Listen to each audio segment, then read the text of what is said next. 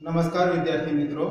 હું Ketan Barot, Eklavya model residential school Khorda Tapi તરફથી આપ સૌને આજના વિડીયોની અંદર ફરીથી આવકારું છું. આજનો આપણો વિષય છે દોડ. દોડની અંદર આપણે આગળના વિડીયોની અંદર એના કૌશલ્યોની વાત કરી હતી તેની અંદર આપણે બે કૌશલ્યો જોયા હતા. એક છે પ્રસ્થાન અને બીજું છે દોડ કદમો. જ્યારે આજે આપણે આગળના બે કૌશલ્યો જોવાનો પ્રયત્ન કરશું, સમજવાનો પ્રયત્ન કરશું. એ બે કૌશલ્ય છે, નિરાયસ દોડ અને વિજય રેખા પસાર. તો આપણે આજે શરૂઆત કરીએ કે આપણે બે કૌશલ્યોની ચર્ચા કરી છે. ત્રીજું કૌશલ્ય કે નિરાયસ દોડ કોને કહેવામાં આવે છે? હવે જો મિત્રો કે નિરાયસ દોડ એટલે પર્ટિક્યુલર કોઈ દોડ નથી. પણ શું છે? તો દોડના એક ભાગ છે. કેવી રીતે? કે જ્યારે 200 કરતા 200 મીટર કરતા વધારે અંતરની દોડ હોય, એ દોડની અંદર આપણે શું કરવામાં આવે છે? નિરાયાસ દોડનો ઉપયોગ કરવામાં આવે છે.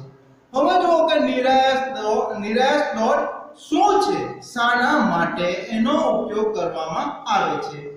તો નિરાયાસ દોડનો ઉપયોગ એટલા માટે કરવામાં આવે છે કે જ્યારે આપણે કોઈ દોડ દોડી રહ્યા છીએ, તે સમય દરમિયાન સતત ને સતત એક સરખી ઝડપથી આપણે એને શરૂઆતથી અંત આપી શકતા નથી. અને આપણી જે દોડ છે, એ દોડના મધ્યમાં, વચ્ચેના અંતરમાં આપણે નિરાશ દોડનો ઉપયોગ કરી શકીએ શાના માટે. તો જે આપણું શરીર છે એ શરીરના સ્નાયુઓને આરામ આપવા માટે આપણે શું કરીશું કે વચ્ચે ફક્ત 10 થી 12 મીટર 9 થી 10 મીટર દોડને આપણે દોડશું. પણ જે આપણી ઝડપ છે, એ ઝડપમાં જેટલી શક્તિનો આપણે ઉપયોગ કરીએ છીએ, એટલી શક્તિનો ઉપયોગ કરવાનો નથી. ફક્ત ને ફક્ત આપણે લોંગ સ્ટેપ બંને પગ જેટલા ખુલે એટલા ખોલીને દોડવાનું છે. ફોર એક્ઝામ્પલ આપણે જોઈએ તો 200 મીટર દોડ. તો 200 મીટર દોડ છે, તો એની અંદર જે શરૂઆતનું 95 મીટર છે, એ 95 મીટરને આપણે કેવી રીતે દોડશું તો? પૂર્ણ ઝડપ દ્વારા. આપણા શરીરની અંદર જેટલી ઊર્જા છે, એટલી ઊર્જાનો ઉપયોગ કરીને દોડશું. પણ મધ્યમાં વચ્ચે એવા આવશે કે જે 10 મીટર 12 મીટર એ ભાગ એવો આવશે કે ત્યાં આપણે દોડને અટકાવવાની નથી. દોડને સ્ટોપ કરવાની નથી. આપણે ફક્ત ત્યાં શું કરવાનું છે કે જે આપણી ઝડપ છે, એ ઝડપની અંદર ઘટાડો કરી લોંગ સ્ટેપ લાંબા કદમ સાથે દોડતું રહેવાનું છે. ત્યાં આપણું જે શરીર છે, એ શરીરના સ્નાયુઓને શું મળશે? આરામ મળશે.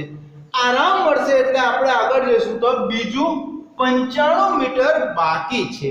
હવે બાકી છે એને પણ કેવી રીતે પૂર્ણ કરવાનું છે તો પૂર્ણ ઝડપ દ્વારા.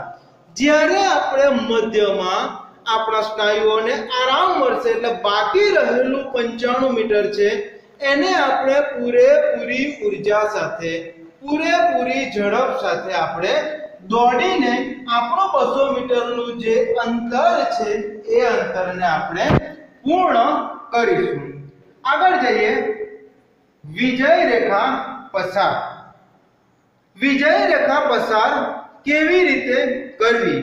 તો મિત્રો, વિજય રેખા પસાર કરવાની મુખ્ય ત્રણ રીતો છે. એક છે ઝડપથી દોડીને વિજય રેખા પસાર. રન થ્રુ ટેકનિક બીજી છે દંડને આગળ ઝુકાવી વિજય રેખા પસાર લંજ ફિનિશ ટેકનિક અને ત્રીજી છે turn finish turn finish technique હવે જો વિદ્યાર્થી મિત્રો કે આ જે ત્રણ બાબત છે, એ ત્રણ બાબતને આપણે કેવી રીતે ઉપયોગમાં લઈ શકીએ?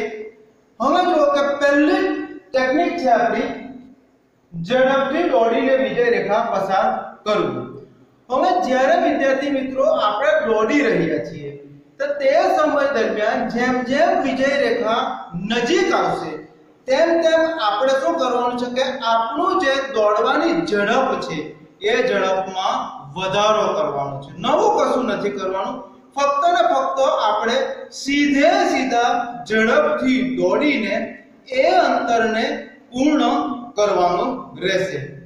બીજું છે કે ધડ આગળ ઝુકાવીને વિજય રેખા પસાર કરવો. હવે આપણે ધડ આગળ ઝુકાવવું. હવે જુઓ કે વિદ્યાર્થી મિત્રો, કે એથ્લેટિક્સની અંદર જે દોડ છે, એ દોડની અંદર એક શબ્દ જોડાયો છે. એને કહેવામાં આવે છે કે ટોર્સો. પહેલા એ સમજી લો કે ટોર્સો એટલે શું? ટોર્સો ની અંદર આપણા જે ખભા છે અને આપણી જે કમર છે તો ખભાથી કમર સુધીના ભાગને જેની અંદર આપણા બંને હાથનો સમાવેશ થતો નથી. એને શું કહેવામાં આવે છે? ટોરસો કહેવામાં આવે છે. ખભાથી કમર સુધીના ભાગને જેની અંદર હાથનો સમાવેશ થતો નથી તેને ટોરસો કહેવામાં આવે છે. હવે આપણું શરીર જે છે એ શરીર બે ભાગમાં વહેંચાયું છે. એક છે ઉપરનો ભાગ, એક છે નીચેનો ભાગ. જે ઉપર ધડ વાળો ભાગ છે. હવે મિત્રો જો કે જ્યારે આપણે ભાગીએ છીએ, તે સમય દરમિયાન આપણું જે ઉપરનો ભાગ છે ધડ છે, એને શું કરવાનું છે? આગળની તરફ આ રીતે ઝુકાવવાનું છે. હવે જુઓ કે આપણે આગળની તરફ શાના માટે ઝુકાવીએ છીએ. તો વિદ્યાર્થી મિત્રો, જે વિજય રેખા પસાર છે, જ્યાં એની ફિનિશ લાઈન છે તે લાઈન ઉપર શરૂઆતમાં શું કરવામાં આવતું હતું. ઊનની દોરી બાંધવામાં આવતી હતી. સાની દોરી ઊનની, જે ઊન આવે છે એની દોરી બાંધવામાં આવતી હતી. સાના માટે ઊનની દોરીનો ઉપયોગ કરવામાં આવતો. તો એ જે ઊનની દોરી છે, એ છાતીનો ભાગ, ધડના ભાગને સ્પર્શે એટલી ઊંચાઈ પર રાખવામાં આવતી. અને એને સ્પર્શતાની સાથે શું થઈ જાય છે? તૂટી જાય છે. તૂટી જવાના લીધે જે ખેલાડી છે, એ ખેલાડીને કોઈ પણ જાતની ઇન્જરી નુકસાન થતું નથી. એટલે જ્યારે પણ આવું કંઈક બાંધવામાં આવે તો આપણે ઊનની દોરીનો જ ઉપયોગ કરીશું. બાકી ક્યારે પણ આપણે નાયલોનની દોરી કે અન્ય કોઈ દોરીનો ઉપયોગ કરીશું નહીં. જ્યારે આપણે ઝડપથી દોડીએ છીએ તે સમય દરમિયાન ફક્ત આપણે શું કરવાનું છે કે આપણું જે ધડ છે, એ ધડને આગળની તરફ ઝુકાવવાનું રહેશે. આગળ જઈએ કે જે ત્રીજું છે, વિજય રેખા ફિનિશ કરવાની રીત. તો ટર્ન ફિનિશ હવે જો કે આપણે અત્યારે ટૂંક સમય પહેલા જ વાત કરી કે આપણું જે શરીર છે બે ભાગમાં વહેંચાયેલું છે. તો ખેલાડી જ્યારે દોડે છે, તો શું કરવાનું છે કે જે ધડ વાળો ભાગ છે અપર બોડી છે, એને ફક્ત શું કરવાનું છે? આ રીતે ટર્ન કરવાનું છે, દોડતા દોડતા. હવે આપણે દોડતા દોડતા આપણું શરીરને ટર્ન કરશું, એટલે જે વિજય રેખા ઉપર ઊંડી દોરી બાંધેલી છે, એને સ્પર્શી જઈશું અને આપણું જે અંતર છે, એ અંતર પૂર્ણ થઈ જશે. આપણે ત્રણ રીતો જોઈ છે મિત્રો, કે ઝડપથી દોડીને વિજય રેખા પસાર કરવું, ત્યાર પછી છે ધડને આગળ ઝુકાવીને પસાર કરવું અને ત્રીજું છે કે ટર્ન ફિનિશ હવે જો મિત્રો કે જ્યાં આપણી દોડ વિજય રેખા પર પૂર્ણ થતી નથી, ત્યારબાદ પણ આપણે 8 થી 10 મીટર દોડવું જોઈએ કે દોડતા રહેવું જોઈએ. શાના માટે કે તમે જેટલી ઝડપથી વિજય રેખા પસાર કરશો, એટલી ઝડપથી માની લો કે આપણે બાઇક છે કે કાર છે. 80 ની સ્પીડ ઉપર ચલાવી અને મિત્રો આકસ્મિક અચાનક બ્રેક મારશે તો શું થશે? અકસ્માત થવાનો ભય રહેશે.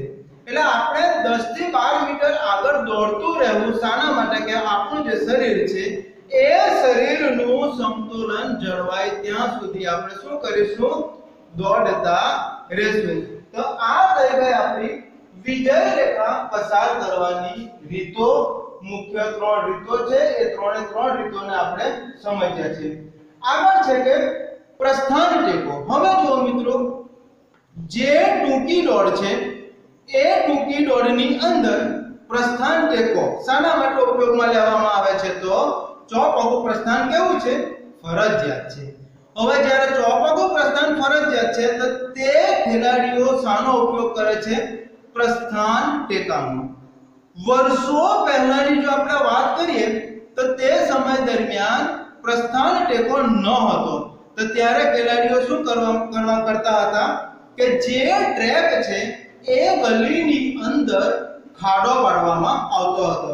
કદાચ તમે આવું નિહાળ્યું હશે કે જે આપણું મિલ્ખા સિંહ ફિલ્મ છે, એની અંદર આ વસ્તુ બતાવવામાં આવી છે. હવે જ્યારે એ ટ્રેકની અંદર ખાડો પાડવામાં આવે તો સમય અંતરે શું થઈ જાય છે? જે ટ્રેક છે, એ ટ્રેક ખરાબ થઈ જાય છે.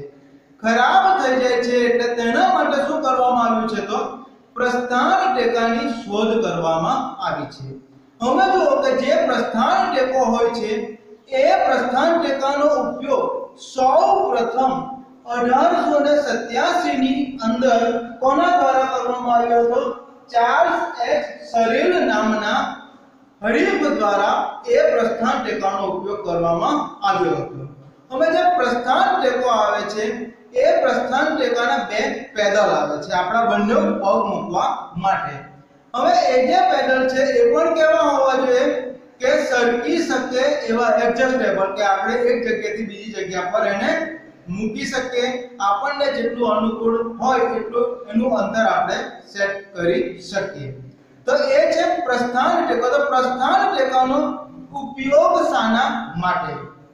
પ્રસ્થાન ટેકો લગાવવાથી મિત્રો, આપણા જે એના બંને પેદલ હોય છે બંને પેદલ પર આપણા પગ રહેશે. તો શરૂઆતથી જ આપણે ઝડપ પ્રાપ્ત કરવા માટે શાનો ઉપયોગ કરી શકીએ? પ્રસ્થાન ટેકાનો. જેટલો આપણે એનો ઉપયોગ કરશું, તો જ્યારે આપણે ભાગીએ છીએ, તો તે સમય દરમિયાન આપણા બંને પગ પેદલ પર હશે વિસલ, બંદૂક, પિસ્તોલ, ક્લેપરની સાથે જ આપણે એને ધક્કો મારીએ છીએ. અને જ્યારે આપણે કોઈ વસ્તુને ધક્કો મારીએ છીએ, ત્યારે ત્યાં કયો નિયમ લાગે છે તો? આઘાત અને પ્રત્યાઘાત. જેટલો જોરમાં આપણે ધમકો આપીએ છીએ, એટલો જ જોરમાં આપણે પ્રસ્થાન ટેકો શું કરશે? આગળની દિશામાં આપણને ધક્કો મારશે. તો પ્રસ્થાન ટેકો ઉપયોગ એટલા માટે છે કે ઝડપથી જ, શરૂઆતથી જ ખેલાડી પોતાનું જે ઝડપ છે, એ ઝડપ પ્રાપ્ત કરી શકે એના માટે પ્રસ્થાન ટેકાનો ઉપયોગ કરે છે. ધન્યવાદ વિદ્યાર્થી મિત્રો કે વિડીયોની અંદર તમને ઘણી બધી માહિતી આપવામાં આવી છે, સમજવાનો પ્રયત્ન કરશો અને એને ઘરે પણ ઉપયોગ કરવાનો કે પ્રેક્ટિસ કરવાનો પ્રયત્ન કરશો. Thank you so much